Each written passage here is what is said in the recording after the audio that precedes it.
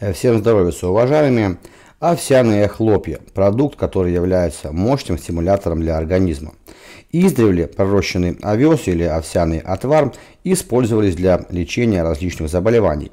Э, в те времена, когда привычные таблетки могли показаться людям лишь чудом.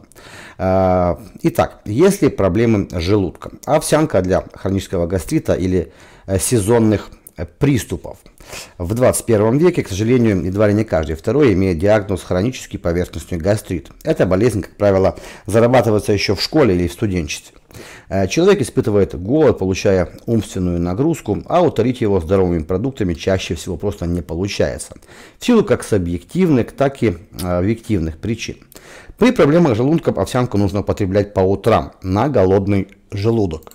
А, по возможности еще до утреннего кофе или после честно выпитого натощак литра питьевой негазированной воды. Нужно залить овсяные хлопья чуть остывшим кипятком и уже через 3 минуты полезная каша готова к употреблению. Такая каша не только поможет загасить симптомы гастрита в кратчайшие сроки, но и полностью наладит пищеварение. Овсяной отвар а, является совершенно бесплатным эквивалентом таких средств, как аммес. Э, его следует употреблять при острых приступах сезонного гастрита, либо как профилактику, ну, время от времени. Если выбором э, курс лечения основным овсяным отваром, при сезонных приступах нужно заливать одну столовую ложку овсяных хлопьев любым э, желаемым количеством воды. А выпивать его следует сразу после пробуждения.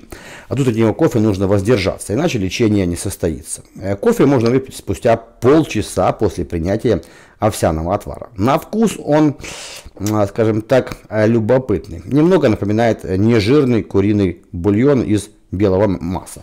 Э, пить его, ну, приятно, как кому. В общем, кому нравится овсянка, ставим лайк. Кто за здоровый образ жизни тоже лайкаем. На этом у меня все. Детальная информация на нашем сайте. Подписывайтесь, ставьте лайки, смотрите еще больше интересного видео на нашем YouTube канале. Всего наилучшего. Услышимся.